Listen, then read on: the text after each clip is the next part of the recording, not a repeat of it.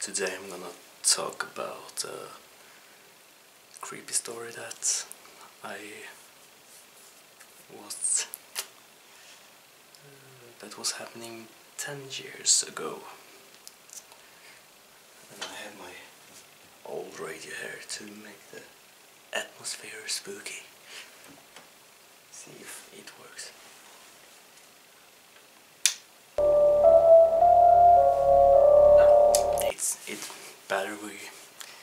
Start talking and shit. Um, ten years ago, my my girlfriend and I were living in another town.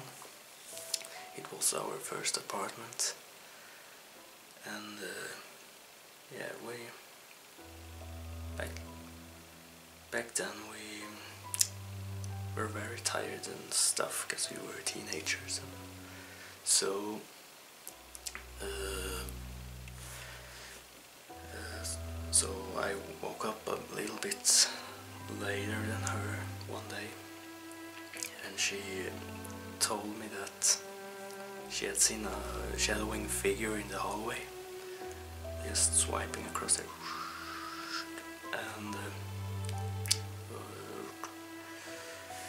and uh, I got the chills right away, and uh,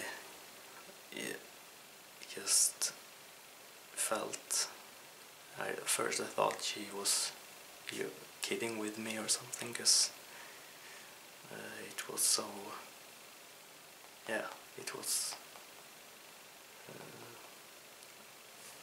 like that, and uh, then. Uh, uh, then uh, back then we had a dog, so I took the dog for a walk, and when I came back on the walk, I saw like the corpse truck or what to call it, the truck that transported people standing outside our apartment building, the door.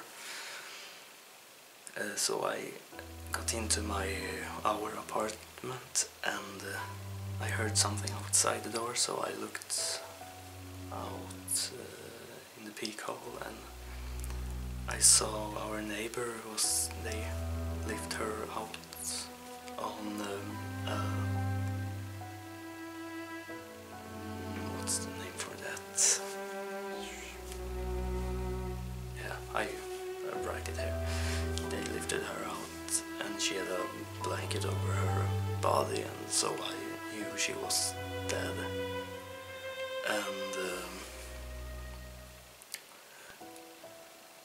Told my girlfriend that right away, and we were like, "Damn, what's that?" And we, it, we told each other, and it must have been the shadowing figure we, uh, my girlfriend, seen uh, that morning. So, yeah, we were very. It felt very strange.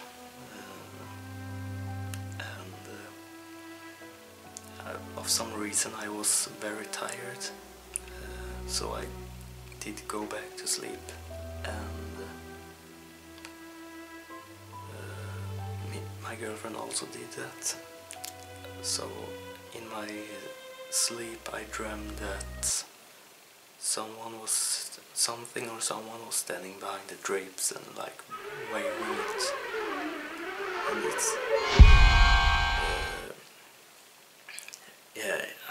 woke up right away cold sweaty and uh, it uh, uh, I didn't dare to go back to sleep again uh, because it was so strange everything and then my girlfriend told me that she also uh, woke up and dreamt something about someone standing behind the drapes. So maybe the, our passed away neighbor was standing there while we were sleeping. So that was very scary situation to be in. That was the story for today. I hope everybody has a great day and subscribe if you want to. Yeah.